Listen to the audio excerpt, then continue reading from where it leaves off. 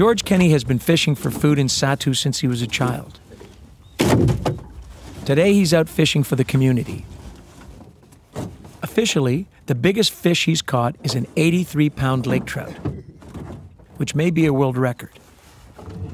He figures he's caught bigger fish, he just lets them go to reproduce before bothering to weigh them.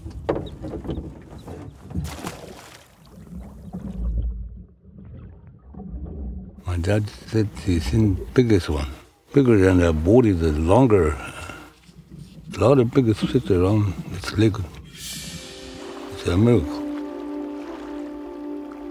Regardless of how big they might grow, the fish in Tsá Tué prove this lake is something of a miracle.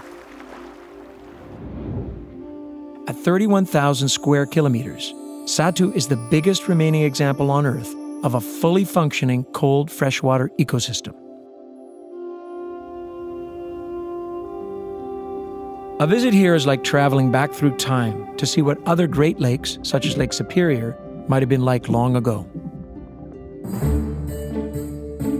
Be inspired by the people working in Canada's biosphere reserves to create a sustainable future on Striking Balance, Season 2,